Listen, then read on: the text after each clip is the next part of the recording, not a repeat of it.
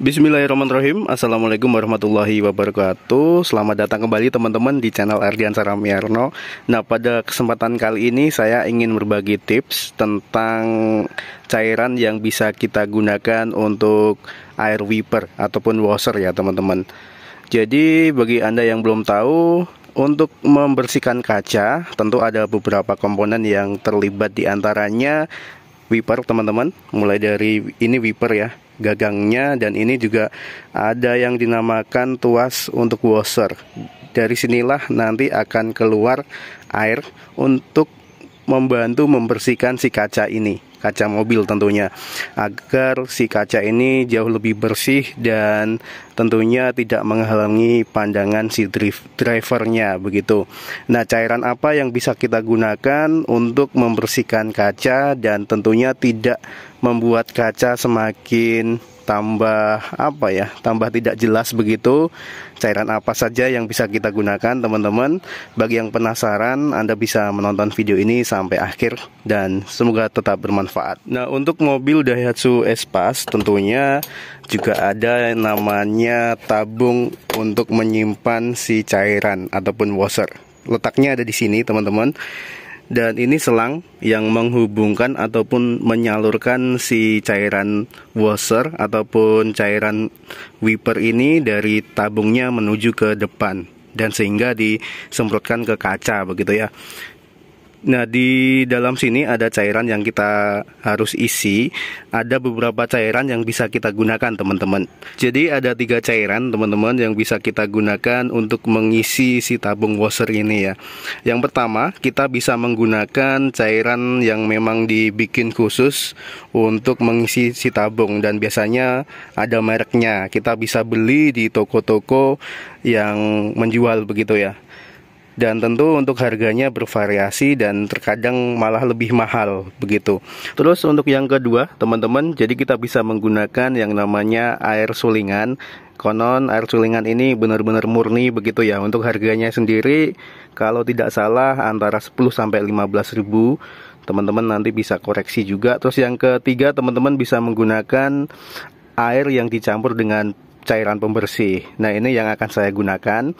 Untuk cairannya sendiri, cairan pembersih yang akan saya gunakan jadi ada dua yang bisa kita gunakan untuk mengisi ataupun nanti kita campur menggunakan air.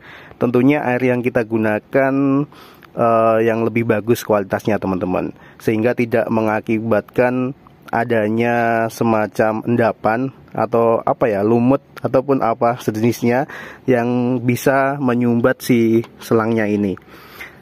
Jadi untuk cairannya sendiri kita bisa menggunakan yang pertama cairan untuk mencuci piring. Terus yang kedua kita bisa menggunakan sampo. Jadi sebenarnya sampo ini cairan pembersih rambut ya, tapi kita bisa gunakan juga untuk membersihkan kaca depan dan bahkan kita bisa menggunakan juga untuk menghilangkan embun di kaca di kala hujan begitu. Nah, bagi teman-teman yang pengen tahu bagaimana cara saya Jangan lupa juga tentunya untuk menyimak video saya ini hingga akhir dan semoga tetap bermanfaat teman-teman. Di depan kita, di depan kita teman-teman sudah ada dua jenis botol. Ini air mineral. Konon katanya air model seperti ini lebih bagus jika dibandingkan dengan uh, air sumur ataupun air keran ya teman-teman. Karena untuk air sumur ataupun air keran itu biasanya dia gampang banget menimbulkan apa ya kayak semacam lumut dan lain sebagainya. Nah, yang ditakutkan adalah semisal air yang kita gunakan itu tadi menimbulkan lumut teman-teman. Ataupun apa ya endapan seperti itu dan takutnya nanti malah uh, menyumbat aliran wiper ya air wiper ya. Mulai dari tabungnya tadi sampai ke depan. Dari tabung tadi akan dialirkan menggunakan selang ya selang kecil begitu. Takutnya nanti malah menyumbat oleh sebab itu memang katanya lebih bagus menggunakan air sulingan teman-teman. Oke langsung aja teman-teman. Jadi ini ada sampo yang saya akan gunakan. Dan nanti kita akan campur menggunakan ini ya botol air mineral yang kecil. Tapi kayaknya untuk satu sampo ini cukup deh untuk satu botol satu setengah liter ini. Tapi kita akan uh, campurkan dengan yang kecil ini dulu. Oke teman-teman langsung kita coba saja jadi ini memang sering saya gunakan ya. Ini samponya kita buka. Dan ini kita campurkan langsung ke dalam air mineralnya.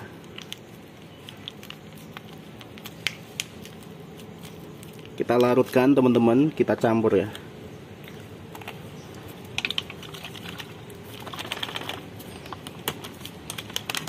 kayaknya lebih bagus lagi kalau misal kita aduk biar dia benar-benar larut sehingga hasilnya akan lebih bagus.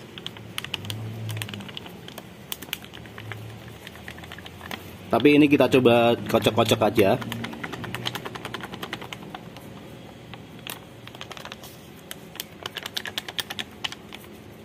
Nah teman-teman jadi ini hasilnya ini air kita campur dengan sampo ya. Tapi teman-teman bisa gunakan selain sampo jadi pembersih untuk cuci piring teman-teman bisa gunakan biasanya apa sunlight itu ya. Tapi ini sampo ini sampo sing yang saya gunakan.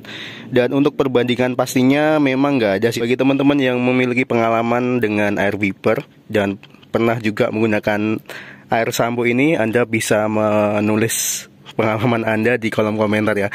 Sekarang kita coba masukkan. Oke teman-teman langsung kita masukkan saja ke dalam air reservoirnya ataupun ke dalam tabung washernya ini ya. Nah ini lumayan udah banyak nih. Teman-teman ini udah kayaknya sih emang belum penuh. Kita tutup aja by the way. Kita langsung coba. Nah ini sengaja saya nyalakan mobilnya jadi biar gak terbebani ya akinya. Oke kita coba. Jadi untuk menggunakan si washernya tadi kita tinggal tarik tuas yang ada di sebelah kiri. Kita tarik seperti ini. Nah ini dia akan keluar. Dan tentunya dengan cairan yang kita gunakan tadi akan lebih licin ya teman-teman untuk wipernya dan juga akan lebih bagus lagi untuk me bersihkan si kaca depan ini. Kita coba nyalakan. Oke ini. Seperti ini ya.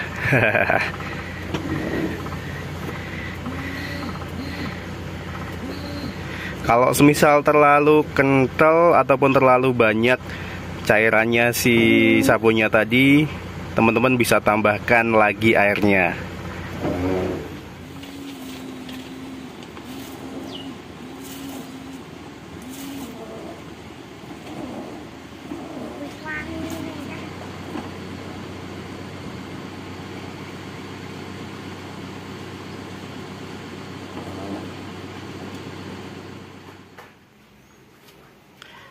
Nah teman-teman jadi sampai di sini dulu untuk video kali ini. Semoga tetap bermanfaat bagi anda yang menyukai video ini.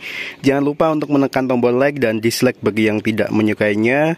Jangan lupa juga untuk menekan tombol subscribe bagi yang belum dan nantikan terus video saya selanjutnya. Terima kasih. Wassalamualaikum warahmatullahi wabarakatuh